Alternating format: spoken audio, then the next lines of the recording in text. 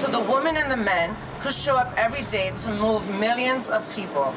Your safety is our priority. That's acting federal transit administrator Veronica Vanterpool at the Metro Northside Transit Center Tuesday, announcing a new rule aimed at reducing attacks on drivers nationwide. Federal statistics show attacks on drivers increased 120% between 2013 and 2023 across the country. This video is from attack on a bus driver in Cleveland.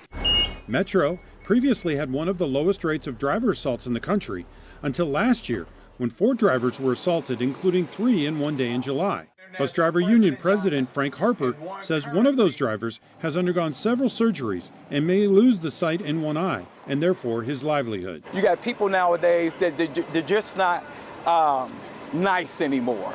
And people are overreacting to a whole lot of situations. So none of the stuff of hot coffee, urine, spit, punches, stabs, even shootings, things like that happen almost every day. The new rule requires agencies to create safety committees, including management and worker representatives, including unions. Metro already has such a committee in place. New initiatives include training drivers on de escalation techniques and making buses more secure.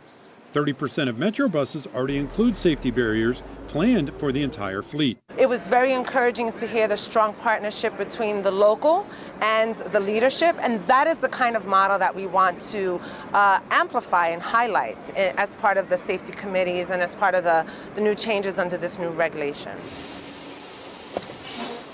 On the road with Metro, this is James Pilcher. Hey there, thanks so much for visiting the Local 12 YouTube channel. Click the links, hit subscribe to get notified anytime we post content to this channel.